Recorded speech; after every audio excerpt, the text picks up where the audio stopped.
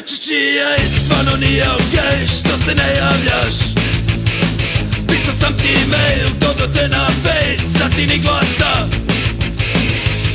Ti si se dosta jebala, dosta jebala A ja i nisam baš, a ja i nisam baš. Ti si se dosta jebala Ilona Davida, Davida Draga Čičije, meni je okej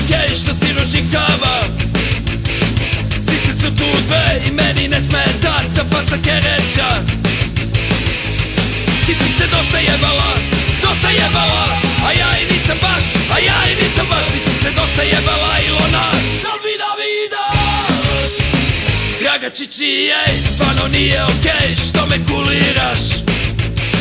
Pisao sam ti tweet, još uvek si hit moga videa